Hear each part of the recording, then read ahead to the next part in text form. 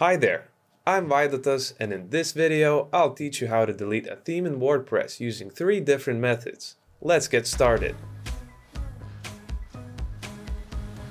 Why and when should you delete a WordPress theme? It's a common practice to install several WordPress themes and test them before finally deciding on the perfect option for your website. But having too many unused themes is not healthy for a WordPress website. Here are the two main reasons why. First, security. You'll be less likely to update unused themes, right? While in reality, all the themes and plugins installed on your WordPress website should be updated regularly, whether you're still using them or not. Outdated files can have security vulnerabilities, leaving room for attackers to sneak into your website. Second, performance. If you have numerous themes installed, your site won't work as fast and efficiently. Every theme on your website eats up storage space, adding up to your backup files and cluttering your database. If you pile up too many unused themes, you may even exceed the storage capabilities of your hosting plan and end up needing an upgrade. You might still be thinking, maybe I want to use those themes again in the future, but in reality, you should just remove them. To help you sort out what themes you should delete, pay attention to these three indicators. First, you have activated a new theme, so the previous one is no longer in use. Second, the theme installed for testing purposes isn't suitable for your needs. Third, the theme is old, so there's little chance of you using it, and there have been no updates or support from the developer team for quite some time.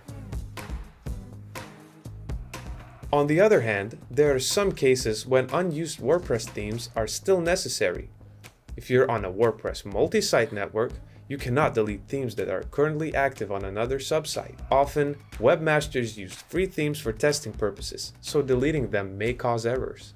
Therefore, remember to cross-check with other users within your network before deleting any theme. Also, don't delete an unused parent theme if you're currently using its child theme.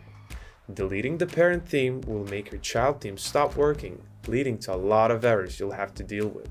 If you have a staging website, we recommend deleting the theme there to see how it would affect your website. But if you don't, it's better to back up the website before making any changes. Once you have the website backup, let's move on to the first and easiest way to delete a WordPress theme. Deleting a theme via the WordPress dashboard is the simplest option. You only need to have administrator privileges, meaning you can access and remove the themes installed on your WordPress site. Here's how you do it. From your WordPress dashboard, navigate to Appearance, and then choose Themes. The first WordPress theme listed in the directory is your active theme. Hover over the inactive theme you want to delete and click Theme Details. A pop-up window like this will appear, detailing the chosen theme. Click on the Delete option in the bottom right corner of the window. A pop-up warning will appear. Click OK to remove the theme. Users who don't have access to the WordPress admin dashboard can use an FTP client to access the website files. The FTP method also helps solve the error message deletion failed, the theme requested does not exist. It generally appears when the initial deletion process fails to remove all the theme files from your site. So, the first step is connecting to your FTP. After that, find the WordPress content folder in the root directory and open up the themes folder locate the theme you want to delete, right-click it, and select Delete. Then click Yes on the pop-up warning.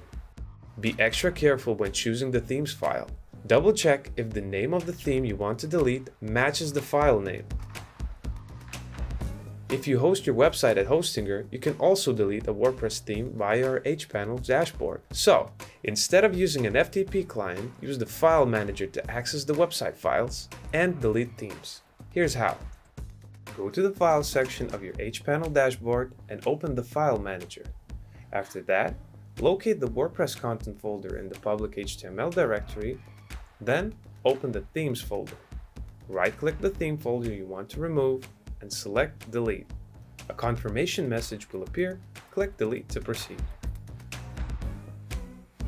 Even after your theme has been deleted, you might still have leftover content on your site such as widgets or dummy content. The appearance of your site will also change according to the new theme. so it'll probably need some adjustment as well. Let's go over each site element you might still need to delete or reconfigure. First, widgets. To check if there are any leftover widgets, go to Appearance and select Widgets.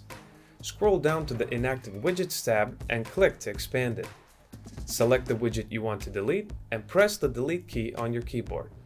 Alternatively, you can remove a widget by selecting it and clicking on the Options button in the Tools ribbon. Select the Remove Widget option from the list.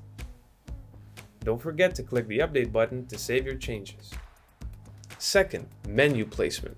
All WordPress themes provide at least one location to place a menu. Normally, it is below the header, or in the footer, or in the sidebar. When you activate a new theme, the menu locations may be different from the previous one. So, you can rearrange them or add a new location depending on how the theme looks. To do that, go to Appearance and choose Menu.